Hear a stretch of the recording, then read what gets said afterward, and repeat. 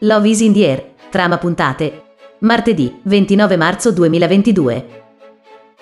L'anello che Aidan ha perso, e che non trova più in realtà, è nelle mani di Ken e Kiraz. I due bambini infatti sono convinti che per stare insieme tutta la vita debbano necessariamente sposarsi, come hanno fatto i loro rispettivi genitori. Per sposarsi però ci vuole un anello, e per questo i due hanno rubato quello di Aidan. La donna è all'oscuro di tutto, e continua a pensare che Kerem sia un ladro, e l'abbia rubato per pagare l'università. Così la signora Bolat ne parla con Aifer, Seifi e Kemal nel corso di una riunione di famiglia, per cercare di capire come comportarsi. Il ginecologo di Eda le fa sapere che, dopo un fatto così grave avvenuto a causa di suo marito, non intende più seguirla.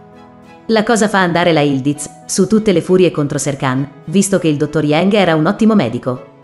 Bolat decide di occuparsi personalmente del problema e trova un medico apposito per sua moglie.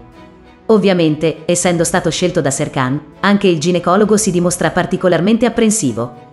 Così, prescrive ad Eda tantissime analisi facendola innervosire ancora di più e creando nuovi scontri con Serkan.